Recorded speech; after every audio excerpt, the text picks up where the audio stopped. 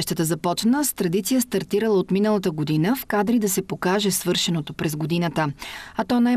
Освен увеличението на парите за коледните и новогодишни празници, още едно от децата на българската армия вече е гор служител на Министерството на отбраната. Това е Анна Бойчева, която заедно с инженер Веселин Христов работят във ведомството благодарение на помощта на ръководството. По време на традиционната предколедна среща те заедно с другите деца на българската армия обсъдиха съвместната дейност с политическото и военно ръководство на Министерството на отбраната и българската армия.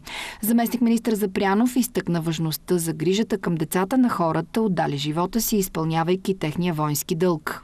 За съжаление, нашата професия, военната служба е изпълнена с много рискове, с много предизвикателства, особено операциите, в които участват и в момента нашите колеги, се съпътстват и с такива рискове. Хората, които са отдали живота си за каузата на България, заслужават уважение и вие техните деца също заслужавате любов и уважение от наша страна.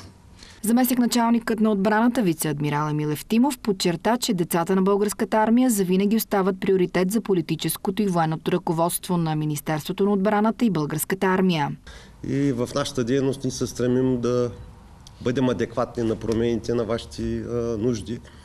И заедно с подкрепата на колегите, които представи за министър Запранов, сме готови да ви изслушаме, да, да споделите какво ви вълнува за работата на фондацията, за така да се каже, за нашия продукт и за някои ваши приоритети и за вашите цели, идеи, за хората в системата, децата на българската армия са кауза, доказва го и директорът на дирекция социална политика Иван Тонов, който не пропуска да приобщи собствените си деца към общността. Тази година успяхме да издействаме още по едни 150 лева за коледни новогодишни помощи, и с което помощта стана 500 лева.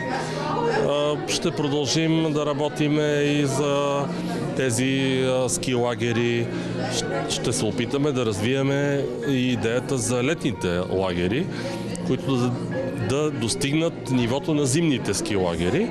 Новият председател на управителния съвет на Сдружението на жените военнослужащи пък обеща да продължат да творят добрини за децата и за напред. Ние вярваме в доброто, имаме надежда и знаем, че доброто ще победи, така че каквото можем от тук нататък ще правим само за това хората, военнослужащите, жените в българската армия да се чувстват добре. В духа на коледа своят скромен благодарствен подарък към фундацията Деца на българската армия отправи порасналото вече дете и майка Русица Петрова, зад която фундацията стои вече 16 години. То не е толкова финансовата помощ, колкото социалното да се чувстваш част от общност, която а, споделя не само интересите ти, ами съдбите ти. Това, това е нещо, което наистина свързва.